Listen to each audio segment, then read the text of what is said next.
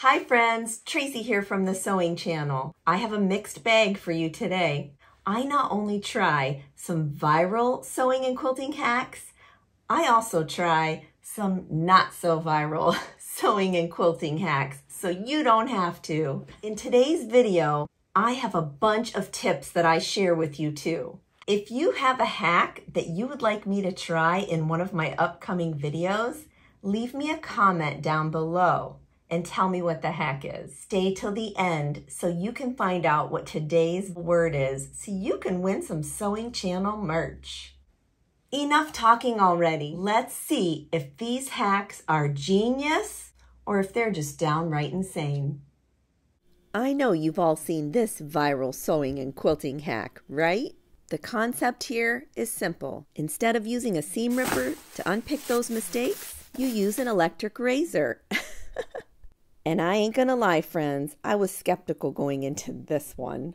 I compared two models a smaller one that took batteries only and a larger version that had a charger that went with it. I didn't try any of the attachments that went with any of these products. I just used the blade, so to speak, that was on it. As you can imagine, the $20 one did have a little bit more weight to it. It did come charged already, too, as a side note. I think sounds bother me because that smaller one, that noise, I did not like the sound of it, but that's just me.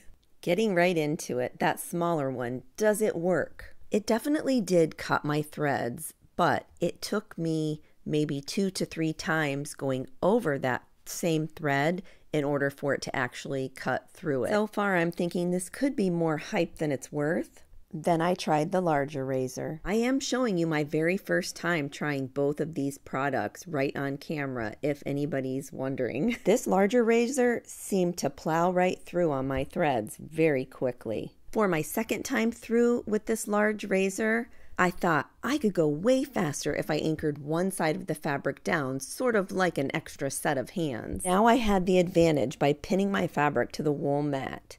And boy, was it easy. I slid that razor right through my threads. The verdict on this one is surprisingly two thumbs up. This next hack has to do with precision. You'll need some graph paper and you will need some washable stick glue, which was not in the original hack video that I saw, but you do need it to help keep that paper stable on top of your fabric. You definitely could use this graph paper on your quilt top like this to make sure that your lines were perfectly straight or your angles if you were trying to do a certain design and whatnot. Here I drew out ahead of time on the graph paper making a path that I could follow. I don't know if it's just me or not, but I do not like tearing paper out of my stitches. Verdict, it works okay, except for that tearing out part.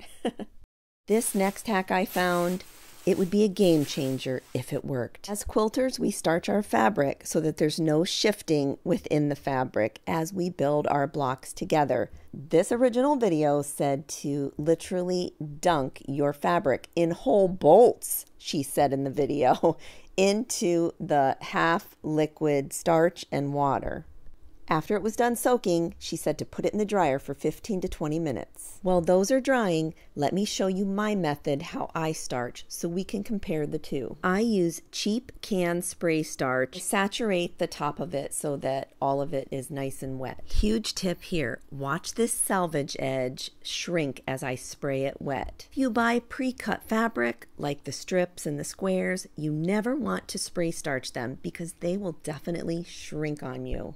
Best practice always starch first and then cut the fabric pieces that you need. For my method, I let them air dry underneath a ceiling fan for about 20 minutes. Here are the liquid starch pieces fresh out of the dryer. So I'm attempting to iron them as you can see and pressing them is extremely difficult. These wrinkles are not coming out. So much for starching fabric in bulk. What a bummer. Let's see how my starching technique compares to the whole bolt liquid starch technique. I have to say that pressing the wrinkles out with my method is way easier. Oh my word, it is effortless. Absolutely a clear winner. My technique wins. it's important to note that this liquid starch may work differently in a spray bottle, but I'll leave that to you. Here's an extra tip for you get a spray can trigger for your starch. You will not be disappointed. Let me blow your mind with this tip.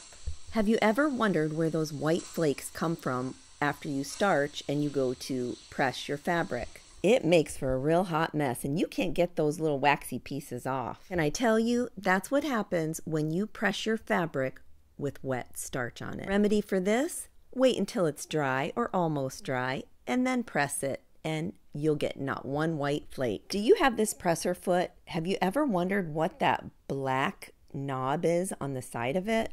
It's like a spring button. It presses in and out. This presser foot is actually a leveler for thicker fabrics. Watch the presser foot as I sew. It's flat, and then when it comes up to where it's thicker, the front of the foot starts to ski slope. Once you see that ski slope, you're going to lift your presser foot up, press the button, and then let your presser foot back down while holding the button. Continue sewing. When it levels out, the button will pop out. Wait for it. There you go. Pretty cool, right? Some videos out there tell you to put things underneath the back of your foot to get the same result. Now you don't have to. This sewing straw hack, it's supposed to help us keep our bobbins and our thread spools together. I have a similar store-bought notion that does the same thing. Before we try the straw hack, let me show you this tip. Did you know there's a little slice in the bottom of our spools to help us keep those strays in check? On your bobbins, what you want to do for this tip is grab that loose thread all the way to one side and then pull it taut and it slides right into the spool, keeping that stray in check. Onto the straw hack. So you're going to cut equal parts from that stretchy end on both sides. Add the bobbin on and then where that bend is, bend it so that the other half of the straw goes into that hole with the initial other half of the straw. Friends, these straws were so cheap. Oh my word. I think if I had stronger straws that it would work way better. Let's see how this did corralling a bunch of bobbins together.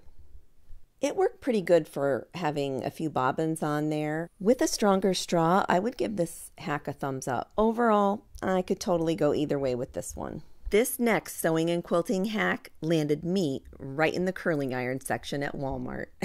Simply put, the concept for this flat iron is supposed to help us get our seams on our quilt blocks nice and flat. While I was setting up to show you this hack, I was thinking to myself, I really do hope Walmart takes this back as a return.